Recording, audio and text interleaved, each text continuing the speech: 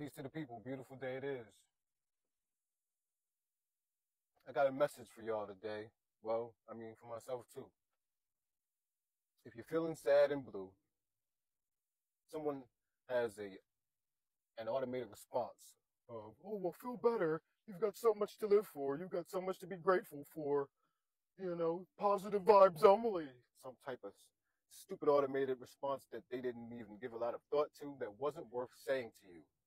Because during those times of need, someone giving you some gibberish that they could have recited to anyone on any given 1 800 uh, self deletion hotline is just, you know, it's garbage.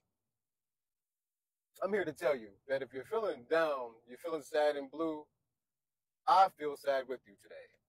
I don't have any motivational rhetoric or some type of, uh, you know, speech to give you to power you up because you're human. You're human, like I am. What does that mean? It means that we're subject to error, we're subject to emotions and feelings, we're subject to feeling like we don't belong here with other humans. We're subject to a lot of things. And in you know those subjugations, we're imperfect. Duh. We're subject to error, right? Whatever. But we aren't objects, right? Which means like subjectively, we're we're moving. We're constantly changing. We're constantly evolving. We're constantly on the ups and the downs, the highs and the lows. And I, let me get straight to what I'm really saying here, even though I'm really saying what I'm saying.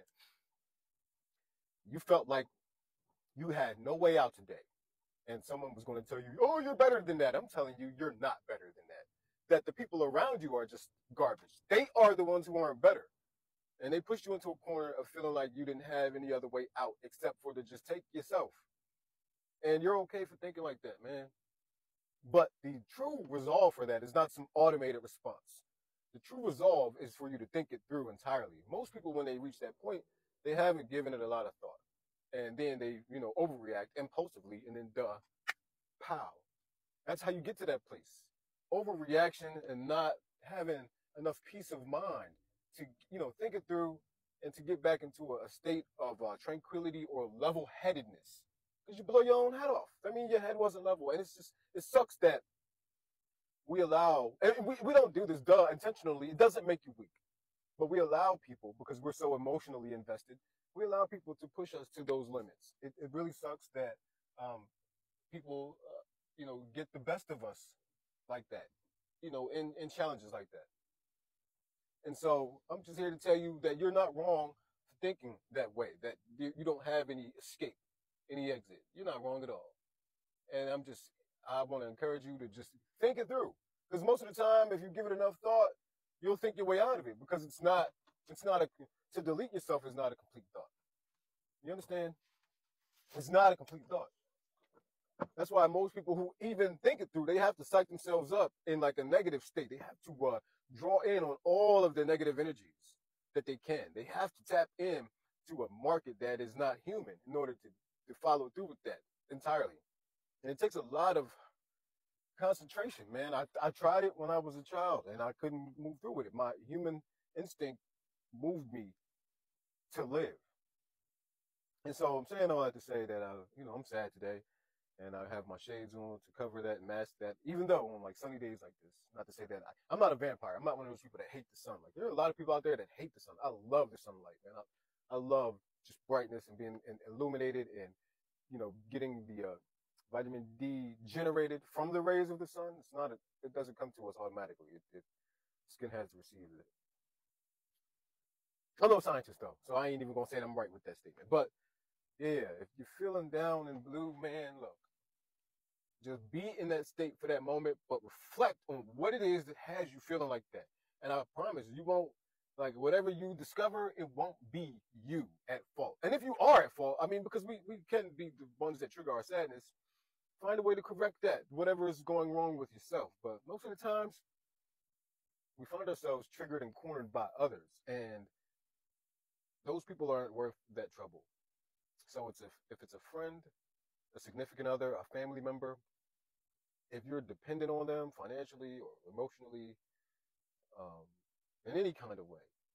Start working on yourself so that you won't have to be, work on yourself and start distancing yourself from them.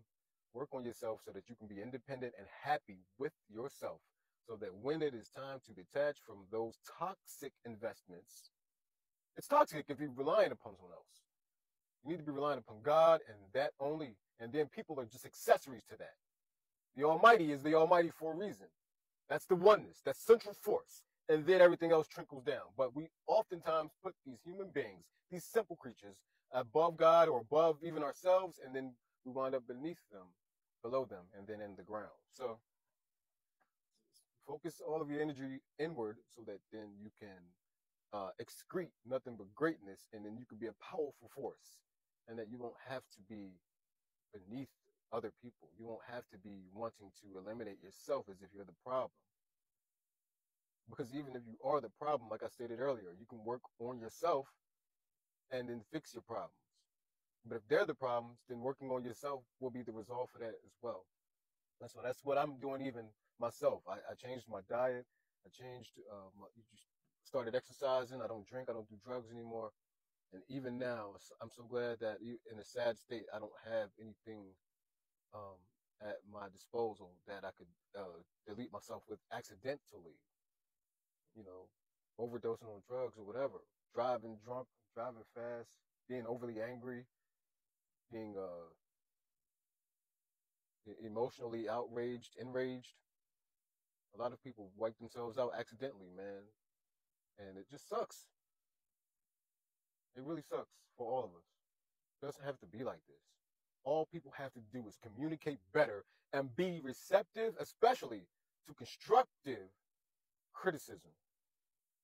But most of us don't, we just don't know how to take being told that what we're doing, what we're saying, and how we're behaving is unacceptable.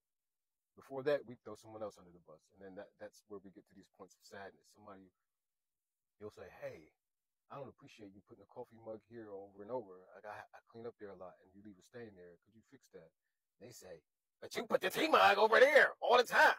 I mean, what difference do it make? And you're like, well, the difference is I clean up after the tea mug each time, but it's not about me. I'm telling you what you're doing that's offensive. And then, but they'll deflect and then they'll make you the problem. And do you see, if you don't have the mental capacity to overcome that manipulation, where that type of uh, discussion can go, turn into an argument, turn into a fight, turn into a dispute, turn into chaos. And all for what? So yeah, love yourself, man. Smile, give yourself a high five in the mirror, and be blessed. Peace to you all. Thanks for watching.